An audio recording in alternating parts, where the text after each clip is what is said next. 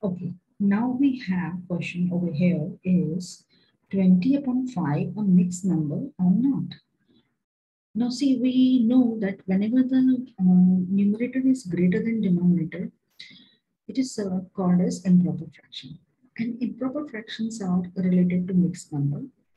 It can be um, converted into mixed number and mixed number can be converted into improper fraction in which uh, mixed number we can split whole units and fraction part and we come to know how much is the units whole unit and um, we also come to know the fraction part of the number. So the fraction given here is 20 upon 5. That means we'll divide this as a, in a long division method where we can get 5 fours are 20 where 4 is a quotient which is to be placed over here and uh, remainder is 0 that is to be placed on the numerator and um, 5 which is divisor which is placed on the denominator. So on the baseline we have quotient over here okay where uh, it will represent as a whole number. And the remainder on the top which is a numerator uh, that is above the baseline. And um, the remainder we have here is zero. And the divisor that means total number of divisions is done in a figure so we have the divisor as a 5. So that means we have total divisions as a 5. Let's see in the figure over here. We have one figure that is divided in five parts and those out of those five parts, we have see one, two, three, four, uh, five figures total. But uh, these are divided in five uh, equal divisions. And out of this, um, there are four whole parts, okay?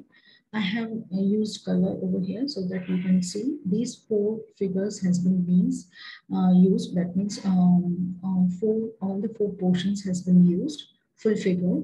And one figure from out of that, which we have not used anything. Zero means nothing. Okay, so there is one portion where we have not used anything, zero out of five. So this is not supposed to be considered in a, in a fraction. Now, why? Because zero, whenever the numerator is zero, the denominator is supposed to be eliminated. That means that fraction, full fraction will be removed, okay? Because we will consider only this whole number four, which is available to us, okay? So this is how the rule is. Let's see, move ahead. When numerator is zero, then entire fraction becomes zero, no matter what the denominator is, 0 0.5, 0 0.100, 0 0.2, 0 0.50, 0 0.3, whatever number you say in the denominator. If the numerator is zero, that fraction has to be removed or has to be eliminated, okay? And that mixed number that we got, we will only consider this whole number which is to be used. So we can remove the entire fraction, leaving us with the final answer as 4.